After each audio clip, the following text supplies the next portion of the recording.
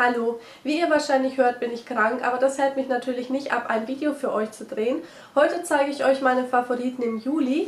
Ein Favorit von mir waren die Reinigungstücher von Rivali Loop. Das ist jetzt eine Limited Edition Inseltraum heißt die. Das sind 3 in 1 milde Reinigungstücher, alkoholfrei. Und ich habe die mitgenommen, als ich meinen Freund besucht habe, weil hier auch drauf stand, ideal für Reise. Und dann habe ich gedacht, okay, das passt ja dann. Und seitdem benutze ich die aber auch so die ganze Zeit. Die entfernen wirklich wunderbar das Augen-Make-up. Ich sehe gerade, dass ich die falsch geöffnet habe. Ich habe die hier hinten geöffnet und ähm, jetzt sehe ich gerade, dass hier vorne steht, hier öffnen. Und das ist wahrscheinlich so ein wiederverschließbares Ding, dass man die dann wieder zumachen kann. Okay, ist mir jetzt gerade aufgefallen. Naja gut, aber die sind wirklich toll. Ein absoluter, absoluter, absoluter Favorit von mir ist der Concealer von Maybelline. Das ist der Superstay 24 Stunden Concealer. Das ist der beste Concealer, den ich jemals hatte. Der hat eine super Konsistenz, deckt wunderbar Augenringe, Unreinheiten und dergleichen ab, lässt sich super verteilen und in die Haut einarbeiten und er setzt sich nicht in der Lidfalte ab. Also dieser Concealer ist mein absoluter Favorit. So sieht der Applikator aus. Ich habe ihn jetzt in der Farbe 2 Light finde den so top. Ich liebe diesen Concealer. Ein absoluter, absoluter, absoluter Lieblingsfavorit von mir. Den kann ich euch sowas von empfehlen. Schaut euch den mal an, wenn ihr auch auf der Suche nach einem Concealer seid. Der ist wirklich top. Für meine Wimpern habe ich nach wie vor mit der Kolossal Volume Express Mascara in 100% Black getuscht. Die gibt den Wimpern so eine schöne Länge und auch Volumen. Ich finde die Mascara super. Das ist das Bürstchen. Ein Lidstrich habe ich mir gerne am oberen Wimpernkranz mit dem Kajalstift von Astor gezogen. Den finde ich auch sehr gut. Hält super den ganzen Tag. Ich habe euch zu dem Kajalstift auch schon eine Review abgedreht. Die verlinke ich euch unten in der Infobox oder ich poste euch als Videoantwort unter diesem Video. Hält nicht so gut auf der Wasserlinie, aber am oberen Wimpernkranz kann man damit sehr gut einen präzisen Lidstrich ziehen, der auch wirklich den ganzen Tag hält. Mag ich sehr, sehr gerne.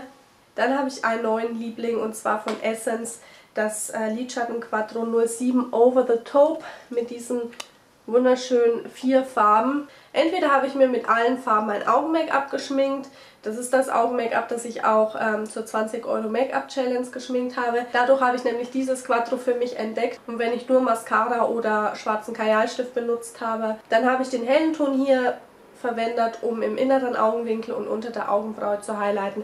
Dieses Quattro ist wirklich ein absoluter Favorit von mir geworden. Als Rouge habe ich von Manhattan aus der Oktoberfest LE die Farbe Dirndler 35p verwendet. Habe ich auch schon im letzten Monat verwendet. Ich liebe dieses Rouge. Ich finde das so, so schön. Das ist ein gebackenes Rouge.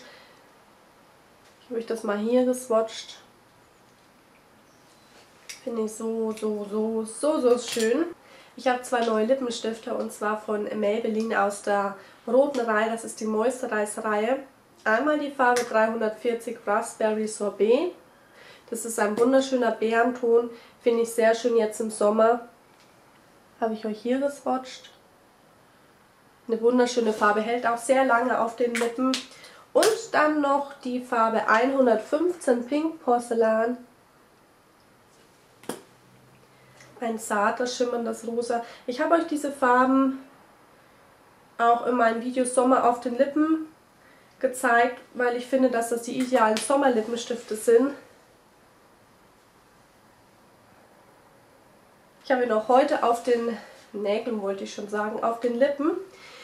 Bei dem Lippenstift würde ich euch aber empfehlen, dass ihr wirklich gepflegte Lippen habt und keine trockenen oder rissigen Lippen, weil es dann nicht so gut aussieht. Also dafür braucht ihr wirklich geschmeidige Lippen, die gut gepflegt sind, weil sich das dann doch in die Lippenfältchen absetzt. Ich habe mir am letzten Monat den Sekundentrockner vom Basic nachgekauft. Der war vorher schon mein Favorit, da hatte aber noch eine andere Rezeptur, da war er eher ölig.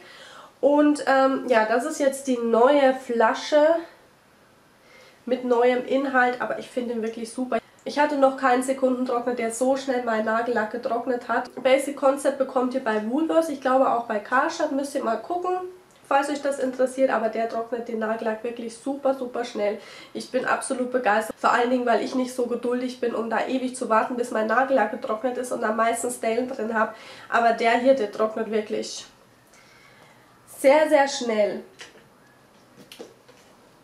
Dann liebe ich immer noch von Balea die Wellness Fußbutter Lemongras und Minze. Ich habe euch schon mal eine ausführliche Review dazu gemacht. Verlinke ich euch auch unten in der Infobox oder poste ich euch unter diesem Video als Videoantwort. Der Geruch ist fantastisch, einfach traumhaft für den Sommer.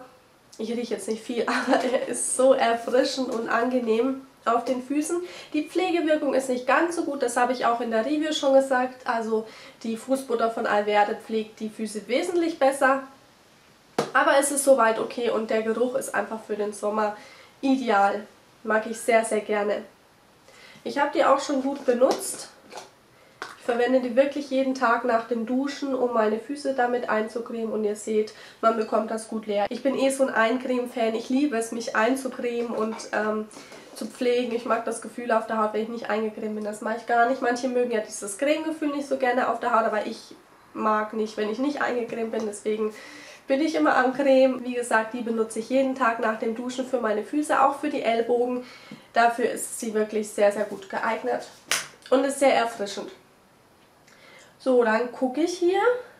Mit meinen kosmetischen und dekorativen Favoriten bin ich durch. Ich habe mir gedacht, dass ich euch auch noch meine Fashion- und Accessoires-Favoriten zeigen könnte. Und zwar ist es zum einen dieses Oberteil, das ich heute anhabe. Das ist von H&M, ist ähm, weiß mit dunkelblauen Streifen. Ich liebe diesen maritimen Style. Weißt du so?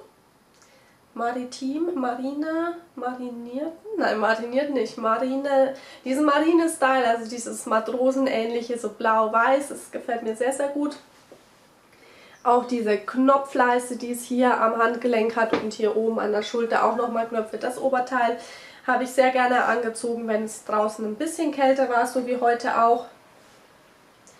Und dann noch ein Oberteil, was ich wirklich liebe. Das ist dieses dunkelblaue T-Shirt mit den weißen Punkten von H&M. Habe ich im Sale ergattert. Das hat hier unten noch so ein süßes Röckchen angenäht.